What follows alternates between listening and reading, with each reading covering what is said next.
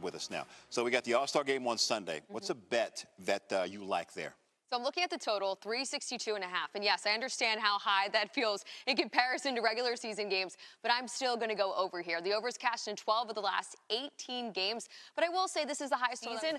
Defense, where's it been all season? Highest scoring we've had since the 1969 season. So I'm not going to take an under on this game. Defense in an All Star game. And it's What's just a that? hard number, 362 and a half. I'm like trying to, I'm like trying to remember that it's so high.